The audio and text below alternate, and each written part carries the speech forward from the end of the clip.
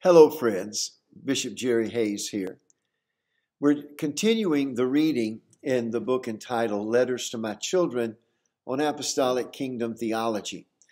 Uh, I trust that you have this book. If you don't, then I want to encourage you to go to Amazon Books and order it. Just order it by my name, Bishop Jerry Hayes, and uh, enter just the word letters, and this book will come up. And this uh, book is a compilation of 24 letters that I wrote to my children during the time when I was going through a conversion from the dispensational paradigm of eschatology to what is called realized millennialism. The traditional word is ah millennialism. But I'm sure you would enjoy this read. And right after that, we pray. We're going to be going to letter number 18, entitled All These Things. But before that we uh, go there and actually begin reading, let's go to the Lord in prayer. Most gracious Heavenly Father, you who sit upon the circle of the earth, we ask that you would illumine all in us that is darkness, anoint our minds, our hearts, and our lips that we might understand, believe, and speak your word with clarity and conviction. We ask these things in the name of Jesus, in whom is the Father who made us, the Son who saved us, and the Holy Spirit that sanctifies us. Amen and amen. We're going now to letter 18. This letter is entitled All These Things. I wrote this letter to my children on the subject of the signs recorded in the book of Matthew, chapter 24, which Jesus said would signal the end of the Jewish age. Our scripture focus for this letter is Matthew chapter 24 and verse 24. Assuredly, I say unto you, this generation will by no means pass away till all these things take place. Jesus of Nazareth. Matthew chapter 24 and verse 34. Dear children, as I write to you, it occurs to me that the seasons of the year are passing before us. I started this correspondence when the weather was hot. Now the days are cool and the nights cold. And it's not long before Christmas time, when I'm sure I'll miss all of you the most. However, it's comforting to me knowing that I am able to share these timeless truths with those whose very memory brings great joy to my soul. This 18th letter on kingdom theology will focus on the clause, all these things, from Matthew chapter 24 and verse 34. Therefore, we will be revisiting letter 16. Now, Christ gave a number of predictions which he assured the disciples would transpire before the generation spoken of in Matthew 24, verse 34, had ended. In letter 16, I listed 10 of these predictions. Five of these are fairly generic and could, perhaps, be visible in all ages of history. But the last five listed have been set forth as evidence against a literal understanding of the term generation. It's argued that these five predictions were not fulfilled in the first century, and therefore the literal generation constituting of the contemporaries of Jesus was not intended. Of course, if our view of generation that we presented in letter 16 is correct, namely the multitude of people living contemporaneously with Christ, then it must be shown that all these things we're going to speak of here, especially the last five on the list, took place before AD 70, when God's judgment came upon Israel in such a complete fashion. A view of the list of the predictions in question will quickly reveal the challenge. Uh, from the list of 10 predictions, the following are the last five. Now, I will list them starting the number at six because of their order in the list of 10. Number six, the gospel of the kingdom preached in all the world. Verse 4. That's one of the signs Jesus said to look for. Seven, the appearing of the abomination of desolation spoken of by Daniel the prophet in verse 15. 8. The event of a great tribulation, verse 21. 9. The darkening of the sun and moon, the stars falling from heaven. That's verse 29. And 10th, the appearing of the sign of the Son of Man in heaven. That's verse 38. Now, the allegation is that the generation made up of the contemporaries of Christ did not produce these events. Excuse the expression, but I deny the allegation and challenge the alligator. Now, since it is the last five predictions in the list given in letter 16 that's in dispute, then that's where we'll focus.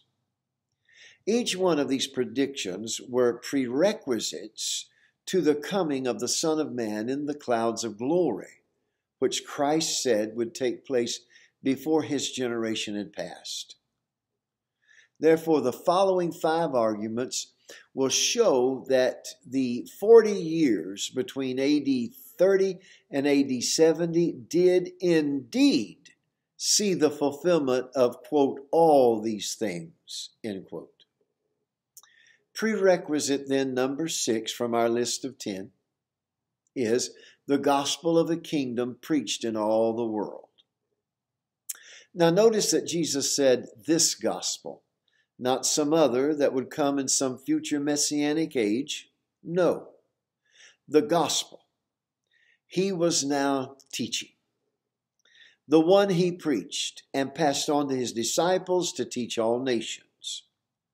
The argument is that the disciples could not have possibly preached the gospel in all the world before AD 70. However, Paul disagrees. Writing to the Romans in AD 57, Paul states that the Word of God had gone to the ends of the world. Romans chapter 10 and verse 18. To the Colossians, the same apostle states, quote, the gospel which was preached to every creature under heaven. End quote. Galatians 1.23 also should be seen. Now one might well ask, how could Paul make such claims? The answer is found in the Greek word used here for world. The Greek word is oikomene. Strong's New Testament number 3625 literally inhabited earth. Now, this phrase is a New Testament era idiom that stands for the Roman Empire. The actual earth, the Greek G, pronounced actually gay, Strong's New Testament number 1093, is not intended by the word uh, oikomene. To illustrate this truth, we need to see Luke chapter 2 and verse 1, where we're told that a, a decree went out from Caesar Augustus, quote, that all the world should be taxed, end quote. That's the King James Version. Obviously, not the entire literal world. Obviously, only the part of the world under Roman rule was intended. The word oikomene is employed 10 times in the New Testament. Nine times it references the Roman Empire directly. And once, Hebrews 2 and 5, the kingdom of heaven is contrast to the earthly kingdom of Rome. Now, this prerequisite for the coming of the end of the Jewish age, I might add, need to see letter 16, is an echo of the words of Jesus to his disciples in Matthew chapter 10 and verse 23, quote, for you will not have gone through the cities of Israel before the Son of Man comes. End quote. Prerequisite number seven. The appearing of the abomination of desolation spoken of by Daniel the prophet. Verse 15. Literally, the abomination that makes desolate. This is a reference to Daniel chapter 9, verse 26 through 27. Daniel tells us that, quote, the people of the prince shall destroy the city and the sanctuary. The end of it shall be with a flood, until the end of the war desolations are determined. And on the wing of abominations shall be the one, it's talking about the prince, the Antichrist, who makes desolate, even until the consummation. And that determined is poured out on the desolate. End quote. Jesus, who is teaching this in AD 30, places the fulfillment of Daniel's abomination that makes desolate into his future, albeit within his generation. See Matthew chapter 24 and verse 34. Certainly, the Roman pagan Titus, AD 70, standing personally in the Holy of Holies of the great temple, and thereafter razing the temple itself and replacing it with the temple of Jupiter, would fit Daniel's predictions exactly. One might add, this has been the understanding of the Lord's church over the millennia. The recent neo Orthodox view, helped by premillennialists and the pre tribulationist among them, that the Jewish temple will be rebuilt in Jerusalem and animal sacrifices reinstated, and then interrupted by a future Antichrist who demands to be worshiped as God, is to be discounted out of hand in light of the kingdom teachings of Jesus one need look no further than the Romans for Daniel's abomination that makes desolate. In fact, Luke records the parallel passage to this verse from Matthew. Luke gives the words of Jesus, quote, And when you see Jerusalem compassed with armies, then know that the desolation thereof is nigh. End quote. Luke chapter 21 and verse 20, King James Version. Therefore, the abomination that makes desolate of Matthew chapter 23 and verse 15 is identified with the siege of Jerusalem by the Romans that concluded in AD 70 with the razing of the temple. Then there's prerequisite number eight, the Great Tribulation. Today, there is much teaching and preaching concerning the Great Tribulation. Many postulate a seven year period beginning at the rapture and concluding with the physical arrival of Christ in Jerusalem, and the beginning at that time of the thousand year reign. Others are teaching that the world has already entered into the first part of the tribulation, and that the rapture will occur either halfway through or at the end. Most all futurists, you need to see letter two, see the Great Tribulation lasting seven years and identify it as the last week of the prophesied 70 weeks of Daniel in Daniel chapter 9, verses 20 through 27.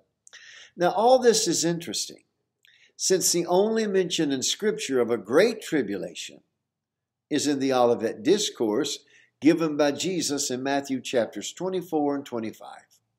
Here, Jesus explicitly places this great tribulation within his generation. We covered this in letter 16. There are some particular characteristics of this tribulation that must be acknowledged. First, Daniel seems to speak of this great tribulation when he writes, quote, And there shall be a time of trouble, such as never was since there was a nation, even to that time. End quote. Daniel chapter 12 and verse 1. Secondly, Daniel assigns this trouble to the Jewish people. Third, Jeremiah agrees by identifying the same period as Jacob's trouble. Now, Jacob is Israel. See Jeremiah chapter 30 and verse 7. And fourthly, Jesus assigns this period of tribulation to his generation and names it, quote, the Great Tribulation, end quote. So, three things are observed concerning the Great Tribulation.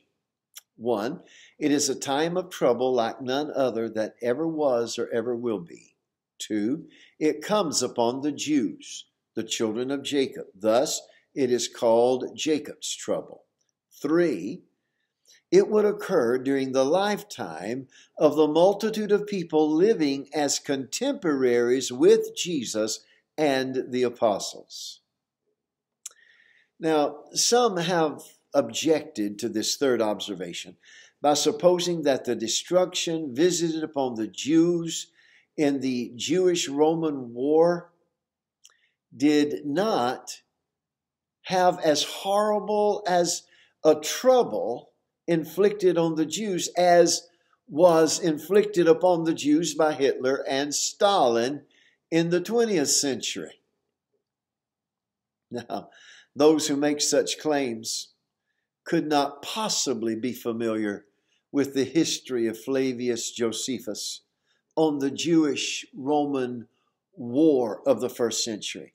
By the end of the second revolt, AD 130, no son of Jacob was left in all the Holy Land. All had been either killed, sold into slavery, or deported to other parts of the Roman Empire. No Jew was allowed in all of Judea on pain of death. Hundreds of years later, when a Jewish holy man moved to Jerusalem to live, and several families were imported from Syria to provide the required number of 10 males, called a minyan, so prayers could be made. There was not 10 Jewish males in all the city that was estimated to house 3 million people during the time of the Roman siege in AD 70. Friend, neither Hitler nor Stalin brought such complete desolation to the land of Judaism and its people. Then there's prerequisite number nine signs in the heavens. Matthew chapter 24 and verse 29. Quote, Immediately after the tribulation of those days, the sun shall be darkened, and the moon will not give its light, the stars will fall from heaven, and the powers of heaven will be shaken. End quote. Perhaps it is this particular prophecy that has been the greatest stumbling block to the futurist in applying a literal interpretation to Jesus' use of the word generation in verse 34 of Matthew chapter 24. The argument asserts that since this astral event, or these astral events, have not yet occurred, Jesus could not have meant his generation, the multitude alive in his day, with the generation clause of verse 34 of Matthew chapter 24. Here again, doctrinal error is infused into the Lord's church by well meaning teachers, so called, who lack a biblical, in biblical scholarship. When applying the E2 paradigm that we talked about in letter 10, for interpreting this passage, one should be acutely aware of the importance of two particular laws of scriptural interpretation. First is the law of context. When Jesus mentions the sun being darkened, the moon not giving light, and the stars of heaven falling, he spoke prophetically in the context of judgment. We therefore must view this passage in the context of other like passages from the Holy Bible. Second, in the law is the law first mentioned. The law first mentioned, simply stated, is this any biblical article should be identified with the meaning made clear when that article was first mentioned in Scripture, in that the entire Bible has but one author, namely the Holy Spirit. What the Spirit intended by his use of the term or phrase at the beginning most likely carries throughout. Now, by applying these two laws, namely context and first mention, well, we're brought to Isaiah chapter 13 and verse 10. Quote, For the stars of heaven and the constellations thereof shall not give light. The sun shall be darkened in his going forth, and the moon shall not cause her light to shine. End quote. Here, the subject and the language are the same as in our text, Matthew chapter 24 and verse 29. The subject is judgment. In Matthew chapter 24 and verse 29, the judgment is pronounced upon Jerusalem, while in Isaiah chapter 13 and verse 10, the judgment is pronounced upon Babylon. One should read the whole chapter of Matthew chapter 13. In both cases, the sun is said to be darkened the moon will not shine, and the stars shall fail. Matthew chapter 24 and verse 29 says the stars fall, while Isaiah 13 and 10 say they shall not give their light. The intention in both passages is the same. What did the Holy Spirit mean by these cosmic references in Isaiah chapter 13 and verse 10? When Babylon was judged, did the sun, moon, and stars literally stop shining? Obviously not. Now, this was prophetic symbolism in Isaiah 13 and 10, symbolizing a turning of an age with the overthrowing of world powers and governments. Therefore, the same language was used in Matthew chapter 24 and verse 29 in the same context of judgment on earthly power, namely Judaism. Now, this must be understood in the same way as the parallel passage of Isaiah chapter 13 and 10. Thus, the language is prophetic poetry, set in symbolic representations to illustrate the overthrow of earthly powers which had come into judgment before Almighty God. Lastly, there's prerequisite number 10 the sign of the Son of Man. Matthew chapter 24 and verse 30 reads, Then the sign of the Son of Man will appear in heaven, and then all the tribes of the earth will mourn, and they will see the Son of Man coming on the clouds of heaven with power and great glory. End quote. Now, Jesus informs us that just before his coming in judgment, the sign of the Son of Man would appear in heaven. Again, the futurists point to this sign and say, It has not yet happened. Therefore, the generation clause of verse 34 could not have been indicating the contemporaries of Jesus. Well, not so fast. Two interpretations of heaven have been suggested for the word uranos. Strong's Greek number 3772. One is the sky, and two, the abode of God. The word is used for both the sky and the abode or throne of God. If the latter is intended, namely the abode of God, then Daniel chapter 7, verses 13 and 14 would be the interpretation, where a quote, Son of Man, end quote, represents the kingdom of God. This quote, Son of Man, end quote, symbol is seen receiving the kingdom from the Ancient of Days in which case the sign is visible in the heaven or the abode of God. If the former interpretation, namely the sky, is intended, then the sign would appear in the sky and be visible for people on earth to see. If this is the sense, then the sign of the Son of Man would most likely be the star which led the Magi to Jesus at Bethlehem. This comet, comet, this comet like, cosmic light. Try that real fast. This comet like cosmic light appeared again over Jerusalem just before God's judgment was visited upon the Jews. One needs to see Josephus, Wars 6.5.3.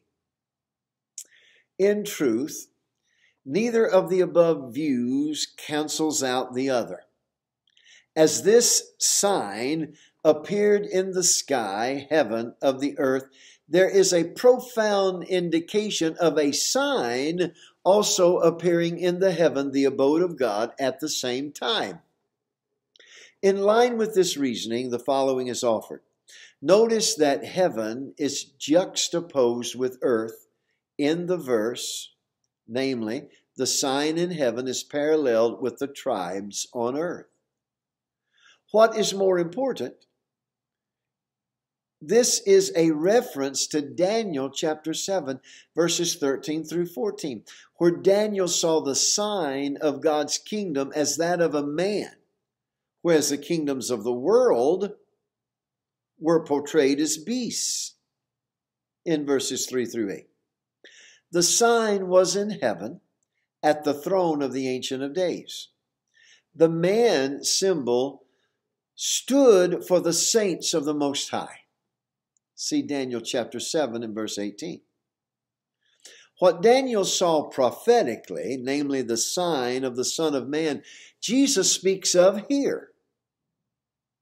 It is manifested in the heaven, sky of the earth, as the comet star which Josephus reported seeing over the city of Jerusalem for a whole year before its judgment.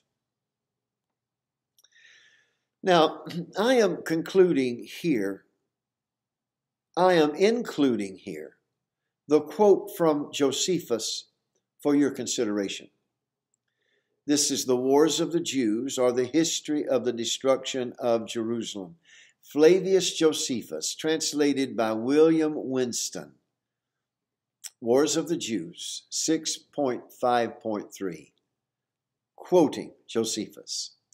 Thus were the miserable people persuaded by these deceivers, and such as belie God Himself, while they did not attend nor give credit to the signs that were so evident and did so plainly foretell their future desolation.